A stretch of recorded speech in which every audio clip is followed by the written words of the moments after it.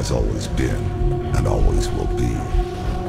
For millennia, the forces of good and evil have been locked in eternal battle over the control of Earthrealm. Some seek to use the tournament to destroy all that is good. Others seek vengeance, power, or eternal life. Time after time, each individual threat has been vanquished, and Earthrealm has enjoyed relative peace for many years. There is concern that Earth is once again in peril. And this time, the threat of evil has two faces. It is now known that the sorcerer Quan Chi has escaped from the Netherrealm. Since his escape, Quan Chi has unlocked the secret of the ancient runestone, discovered the ancient undefeatable army of the long-forgotten Dragon King, and most disturbing of all, formed an alliance with one of our deadliest enemies, Shang Tsung. With their combined strength, they plotted to overpower the only two beings who could prevent their total domination of the two realms. The first was the Emperor of Outworld, Shao Kahn. In a false show of allegiance, they sprung their attack.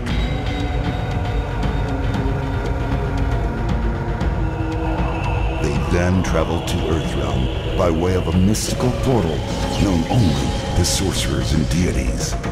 There, they confronted Earth's mightiest warrior and champion of Mortal Kombat, Liu Kang. It has been Shang Tsung's desire to consume the soul of Earthrealm's greatest warrior.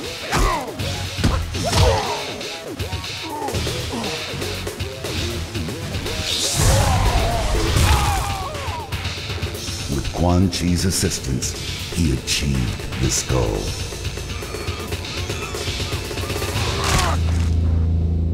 Liu Kang is dead.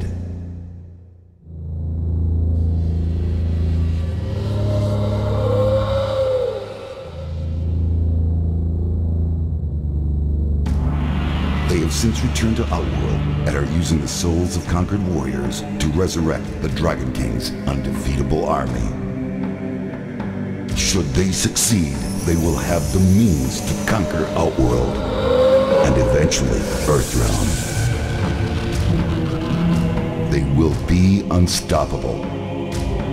I can no longer stand idly by and watch this evil consume the world. I have relinquished my status as Elder God to return to Earth and lead you all to battle against our old adversaries. We must act now. We must stop this deadly alliance.